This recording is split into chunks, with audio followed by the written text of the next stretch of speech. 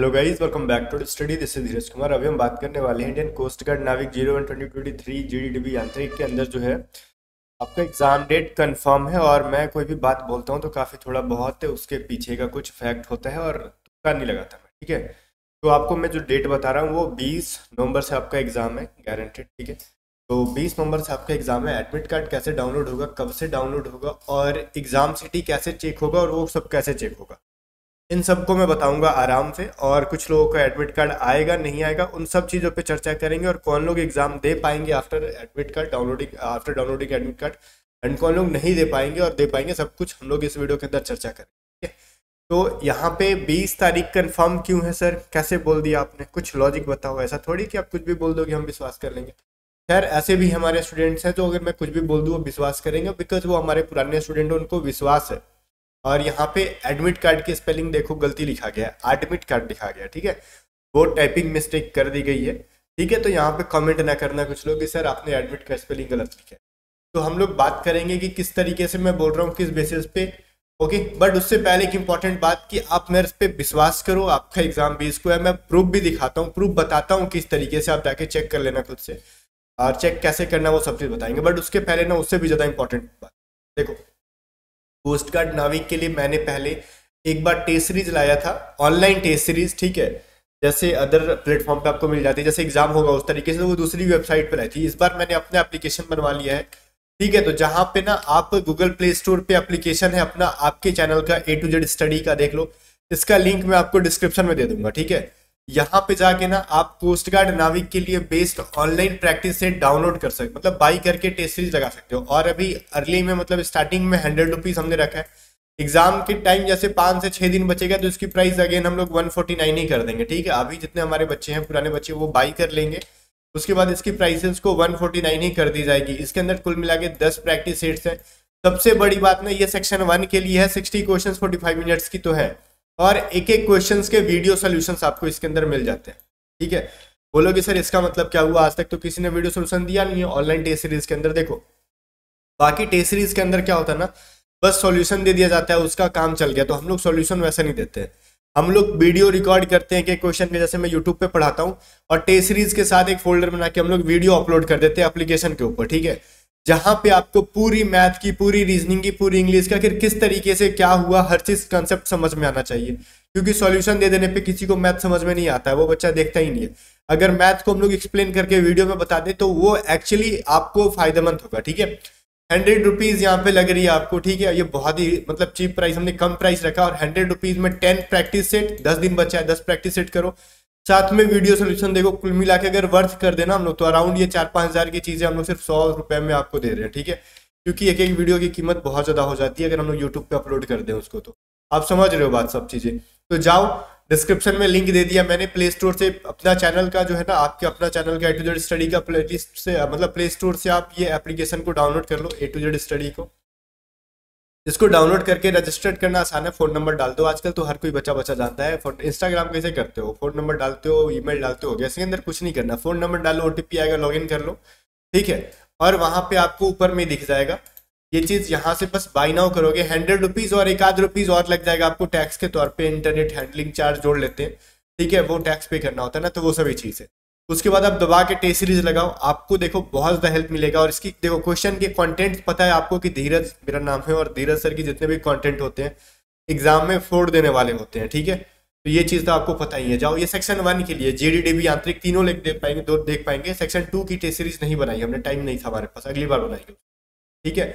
और बहुत जल्द एयरफोर्स की भी टेस्ट सीरीज़ आएगी। अब बात कर लेते हैं, सुनो, कि हम लोग क्या कह रहे हैं, कैसे कह रहे हैं। कुछ तो लॉजिक होना चाहिए सर, जो बात कर रहे हो उसके ऊपर एग्ज़ाम डेट के बारे में, ठीक है? देखो, मैं आपको एक चीज़ बताता हूँ। अभी अगर कोस्ट गार्ड की वेबसाइट पर जाओगे तो एक चीज़ दिख रहा होगा आपको। अगर आप असिस्टेंट कमांडेंट का देखोगे ना तो कोस्ट गार्ड असिस्टेंट कमांडेंट का, देखो आपको पता है ना कि आईसीजी दो एग्ज़ाम ले रही है फ़िलहाल। एक नाविक का और एक असिस्टेंट कमांडेंट का। तो असिस्टेंट कमांडेंट का एग्ज़ाम है, देखो, उन्नीस तारीख से, ठीक है? उन्नीस तारीख को एग्ज़ाम है ऑल ओवर इंडिया सारा एग्ज़ाम उन्नीस को खत्म हो जाएगा, ठीक है ना? और जैसे ही उसकी खत्म हो जाता है तो अगले दिन क्या होता है? नाविक का एग्ज़ाम होता है। अब ये चीज़ मैं कैसे कह सकता हूँ, सुनो।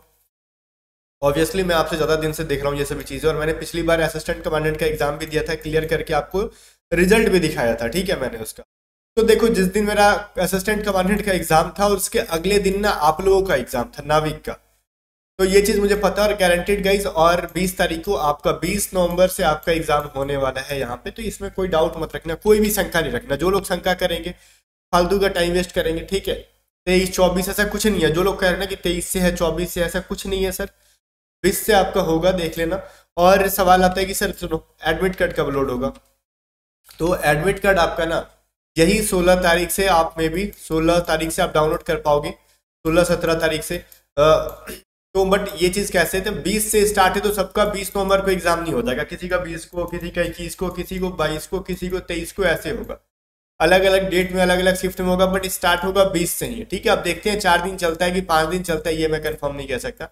ठीक है तो जिसका बीस को होगा ना, वो सोलह या सत्रह से लोड करेगा डाउनलोड या इक्कीस को होगा तो वो सत्रह या अठारह को डाउनलोड कर पाएगा, बाईस को होगा तो ये अठारह या उन्नीस को, तेईस वाले उन्नीस या बीस को, चौबीस वाले बीस या इक्कीस को, ऐसे करके डाउनलोड कर पाएँगे बट सुनो एग्ज़ाम सिटी आपको आज दस तारीख है, दस नवंबर है।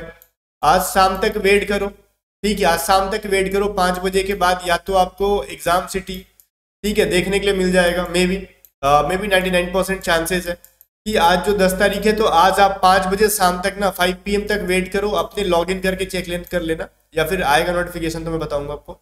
एग्ज़ाम सिटी आप चेक कर लेना, ठीक है? और अगर आज आ जाता है तो अगर अगर आज नहीं आया ना तो ग्यारह नवंबर को तुम लोग कैसे भी आप अपना एग्ज़ाम सिटी चेक कर पाओगे।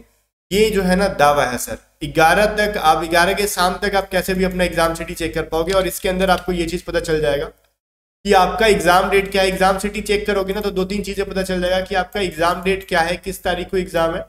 ठीक है? और आपको ये भी पता चल जाएगा कि आपका एग्ज़ाम सिटी कहाँ पे है। ठीक है? डेट के साथ में आपका सिटी कहाँ पे है, ये पता चल जाएगा किस सिटी में आपका सेंटर गया है। सेंटर का नाम नहीं पता चलेगा, बस मान लो जैसे बिहार में पटना में अगर है तो पटना पता चल जाएगा। किसी का अगर प्रयागराज में है तो प्रयागराज पता चल जाएगा। अब सेंटर एक्जैक्टली क्या है, वो नहीं पता चलेगा। डेट पता चल जाएगा भैया किस तारीख को आपका एग्ज़ाम होने वाला है। इससे दो फ़ायदे हैं। लगभग दस दिन मिल जाते हैं ना, दस दिन बाद आपका एग्ज़ाम है। अगर किसी का दूर है तो आप वहाँ पे ट्रेन का टिकट रेलवे का टिकट वगैरह बुक करने में थोड़ी सी आसानी हो जाती है। तो इन सभी चीज़ों के लिए एग्ज़ाम सिटी दे जाता है पहले। और डेट क्यों नहीं बत, मतलब डेट मतलब एग्जैक्टली सेंटर इसलिए नहीं बताते ना कि तुम आप मतलब क्या करो ना कुछ लोग होते हैं कुछ बदमाश लोग कि वो सेटिंग लगवाने के चक्कर में पड़ जाते हैं। ये सभी चीज़ों के मतलब फ्रॉड को दूर रखने के लिए मतलब यही बहत्तर घंटा पहले आपको एग्ज़ाम पे क्या होता है? एग्ज़ाम पे बहत्तर घंटा पहले आपको एडमिट कार्ड डाउनलोड होता है ठीक है? तो जो चीज़ें थी मैंने आपको यहाँ पे बता दी। आप आपको विश्वास नहीं है तो जाओ इंडियन कोस्ट गार्ड के वेबसाइट पे जाओ असिस्टेंट कमांडेंट वाला जो होता है ना आईसीजीसी मतलब आईसीजी कैट वाला जो होता है उसमें जाके देखो, उनका एग्ज़ाम डेट यही है। उन्नीस नवंबर को मैंने बहुत लोगों से बात किया। आपको टेलीग्राम पे ये सभी चीज़ों को मैं नोटिफाई कर दूँगा। ठीक है तो आपका बीस तारीख से होगा। अब ट्रस्ट है तो मानो, नहीं है तो फिर नहीं मान के भी क्या कर सकते हो? मेरा अपना देख लो, आपका चीज़ है। ठीक है, बाकी देखते हैं। मेरा काम था बताना, मैंने बता दिया।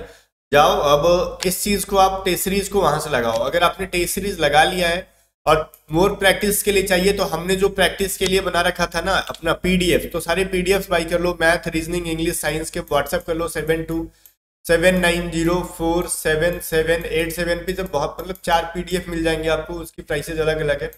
बहुत चीप प्राइसेज है, पैंतीस छत्तीस रुपए के पीडीएफ की प्राइस है। वहाँ से बहुत सारे मैथ के क्वेश्चन रीजनिंग के क्वेश्चन इंग्लिश के और साइंस के क्वेश्चन मिल जाएँगे। तो ठीक है वीबीआई क्वेश्चन जो कि आपके एग्ज़ाम में सेम पैटर्न पे सारे आने वाले तो दो तीन चीज़ें आप कर लो ठीक है एग्ज़ाम से पहले तो फिर काफ़ी हेल्प मिलेगा। और बाकी इस प्रैक्टिस सेट को तो लगा के ही जाना, ये बहुत इंपॉर्टेंट है। सेक्शन वन में कैसे टाइम मेंटेन करना है क्वेश्चंस के लेवल वगैरह, सब कुछ आपको यहीं से देखने के लिए मिलेगा, ठीक है? सेम पैटर्न होने वाला पूरा एग्ज़ाम इस चीज़ को मैं खुल के दावा दे सकता हूँ, क्योंकि मेरे क्वेश्चन सेट किए हुए जो है ना, वो सेम पैटर्न के ही आते हैं आपके एग्ज़ाम में। बाकी अपना अपना ट्रस्ट जिस पे जहाँ पे हो, आप वहाँ से पढ़ो, ठीक है? मिलते हैं नेक्स्ट वीडियो में, तब तक बब्बा वीडियो को लाइक करके शेयर कर देना।